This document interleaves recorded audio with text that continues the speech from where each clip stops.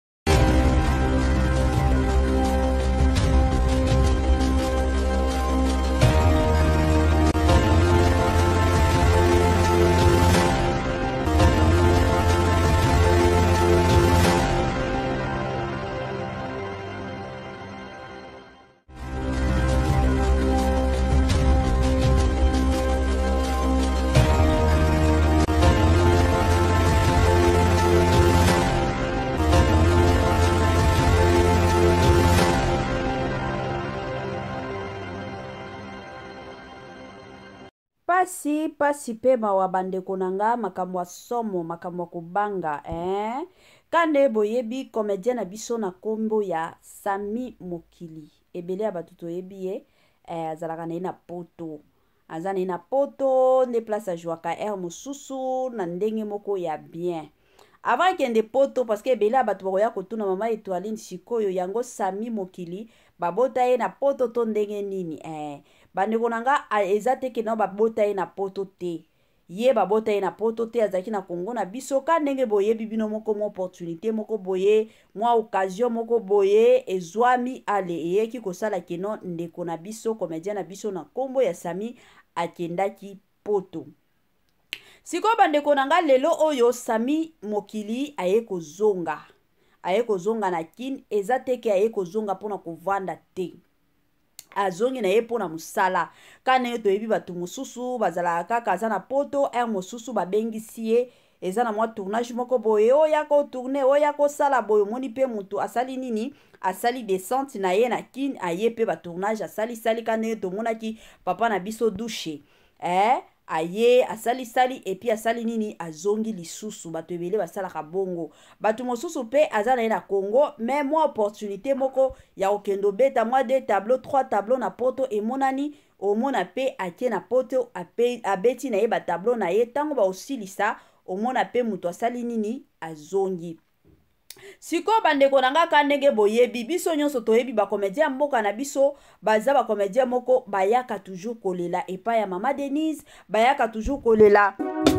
mama mae 2024 gafker toyeli bino solution mpo na baproblème ya trompe fibrome miome kis règle abondante gafker tozali na solution yo oyo okota menopause ata na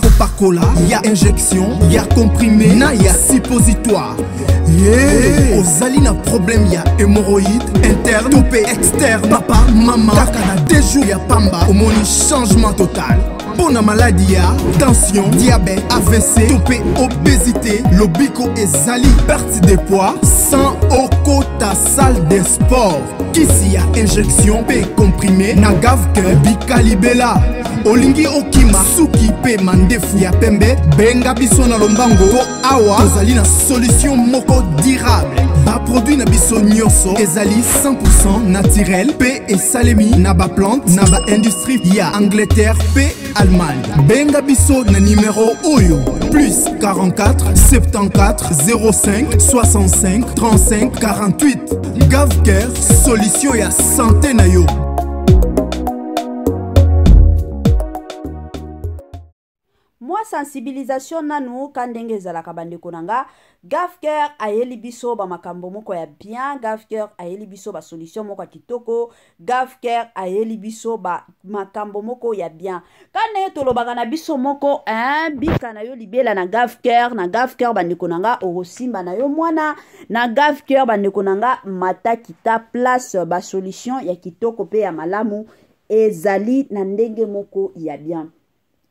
ebele ya bato selon ka ndenge totanga na baekole ebele ya bato toyebi ke deja à l'âge de 60 ans moto akoki kobota te à l'âge de 50 ans nde ezalaka suka donc soki omoni moto aboti na 55 ans wana eza miracle bandeko na ngai na gaf cœur kuna bazosunga bato ti na 62 ans 65 ans okobota na yo na ndenge moko ya pete mpenza makasi voilà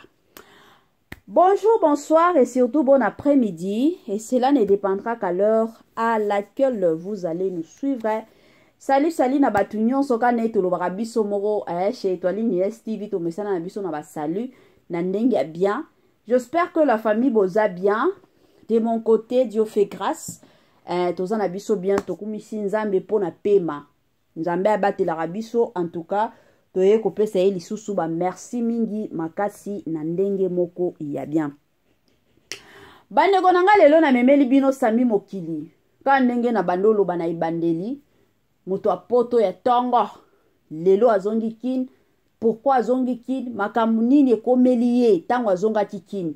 la famille avant nakota na mwa mozindo ekozala mwa bien na ya nanu kosensibilize bato nyonso ya sika toyebi ke chaque fois ke tozalaka na baémission ya sika bato ya sika mpe eh, bakotaka yango toye kosensibilize bino nyonso bato ya sika bino nyonso bolandaka etoile nines tv en tout cas si c'est la toute première fois ya kotalaka biso ya kolandaka biso ekozala mwa bien otalaka biso ozolandaka biso kobosana mpe te kosabone ee eh, massivement ntango osabonaka bongo salela biso mpe partage biso tolingaka bapartage na bino tolela mpe bapartage na bino bajeme na bino bandeko na nga emankaka te s'il vous plaît otala biso mwa bolingo eh? tie motili mwa mama etoiline mwa jeme ekosala malamu mingi ka ndenge ezalaka na ndenge moko abia napesa nano bambote avant tokɔta na mozindo ya ndeko na biso euh, sami mokili napesi bambote na linda bukulu napesi bambote na madame madrine mafu congolais congolaise partout ozali kotala biso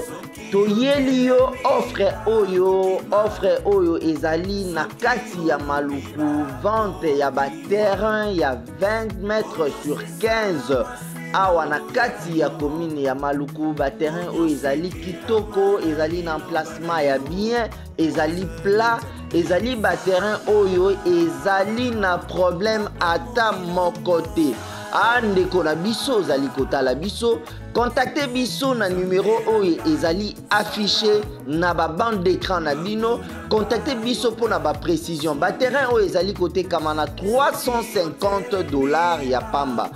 na 350 dollars ya pamba ozwi terrain na yo ya 20 mètres sur 15 et puis il y a aussi possibilité ya kosomba terrain à crédit soki ozosomba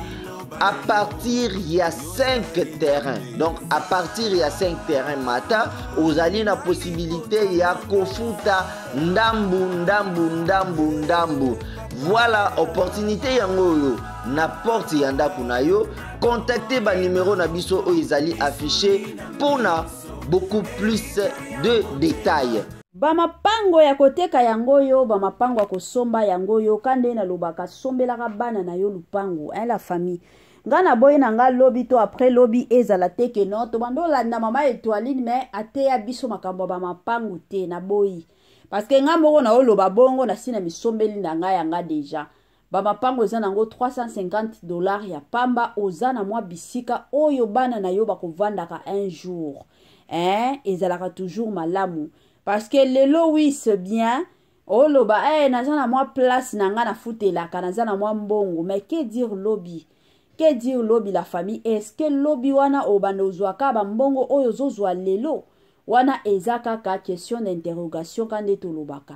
yango bandeko na nga bamapango eza nango na 350 dollars ya pamba osombeli bana na yo bisika ya kovanda ekozala surtout et encore malamu mingi voilà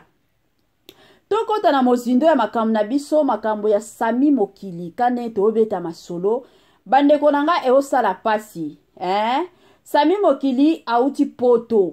auti poto ntango aye koya awa na kin aye kosala bagag na bandeko na biso bayenga sala bagag na bandeko na biso ba jeremi shabani e du coup toye komona ye mpe epai ya jeremi e epai ya plutot omari kabongo tonton o oyo tobengaka tonton o sikoyo ntango bosala tournage ayaki kosala mwa video moko ye sami mokili aye kosala mwa video moko aza na mbongo ya valeur ya 500 dollars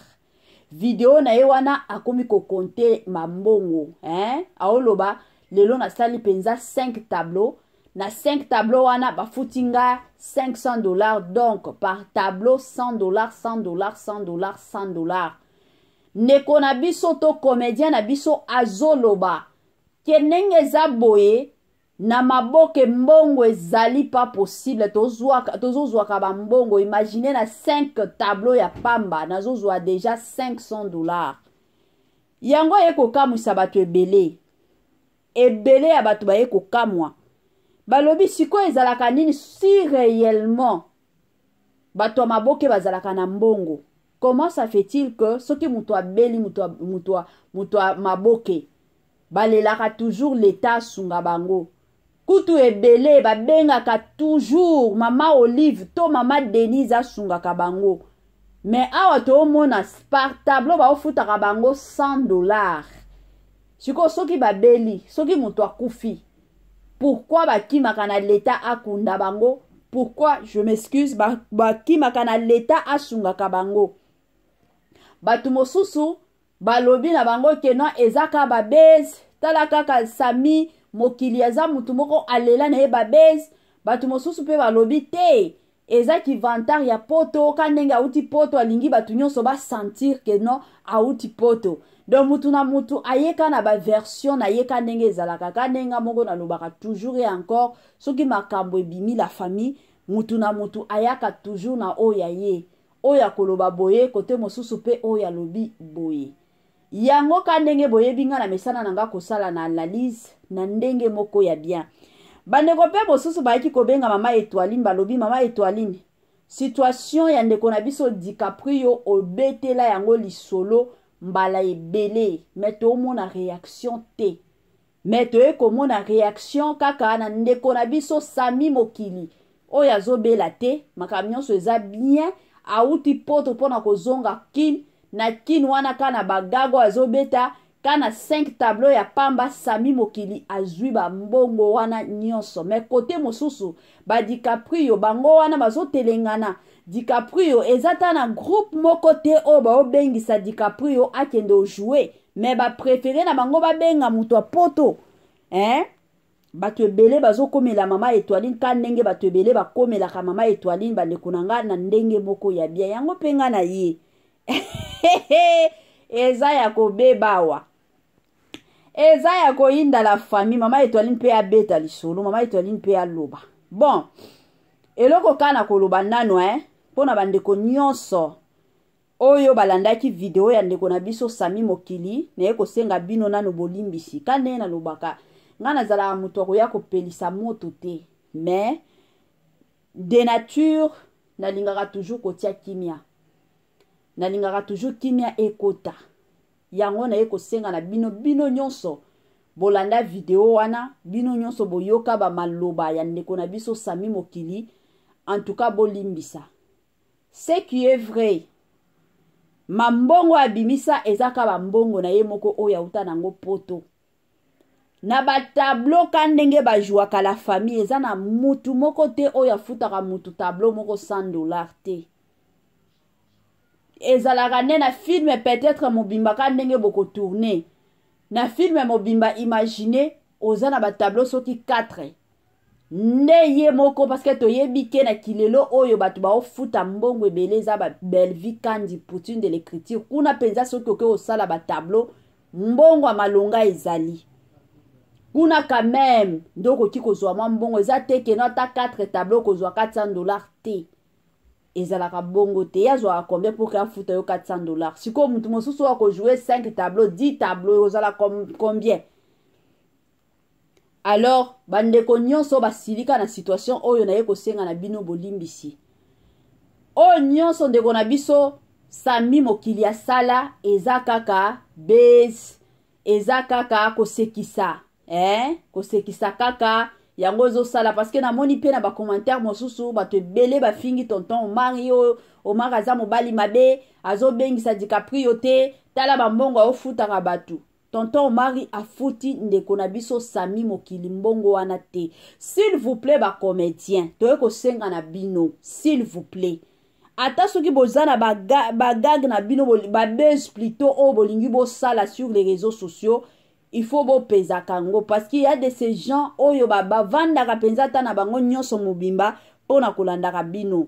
eza na bato mosusu base portant garant ya koloba keno tokobanda osungaka bacomédien mais soki amoni deja yo comédien ozoya na bambongo ebele ebele ke no nga na tableau kaka moko bafuti nga boye ata motu oyo azalaki na makanisi ya kosunga yo akoya lisusu kosunga yo te parce que amoni ke oza na yango oza na yango ebele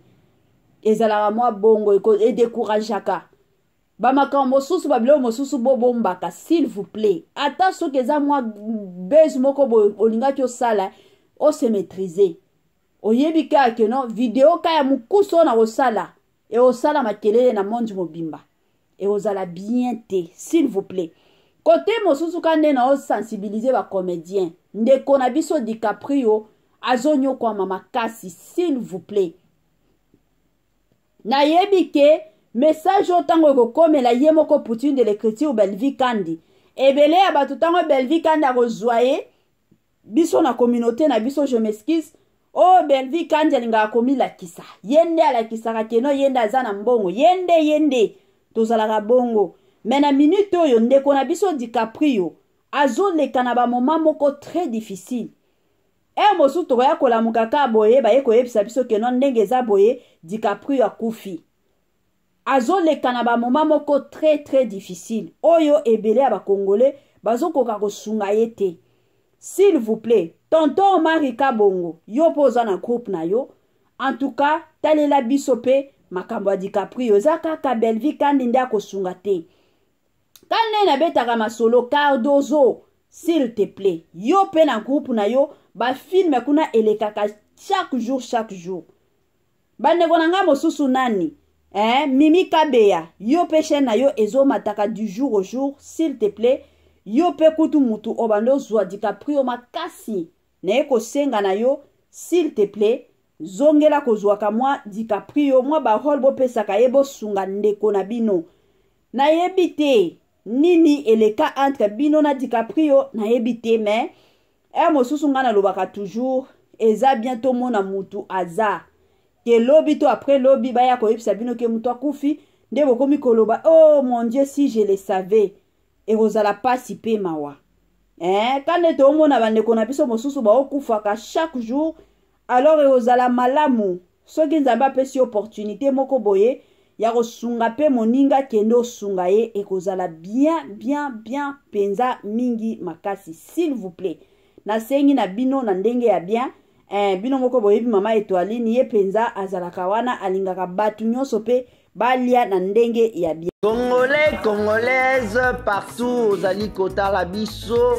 toyeli yo offre oyo offre oyo ezali na kati ya maluku vente ya baterrain ya 20 mètres sur 15 awa na kati ya komine ya maluku baterrain oyo ezali kitoko ezali na emplacement ya bien ezali plat ezali baterrain oyo ezali na problème ata moko te a ndeko na biso ozali kotala biso kontakte biso na numero oyo ezali affiche na babande d'écran na bino kontakte biso mpo na baprécision baterrain oyo ezali kotekama na 350 dollars ya pamba na 350 dollars ya pamba ozwi terrain na yo ya 20 mètres sur 15 et puis il y a aussi possibilité ya kosomba terrain à crédit soki ozosomba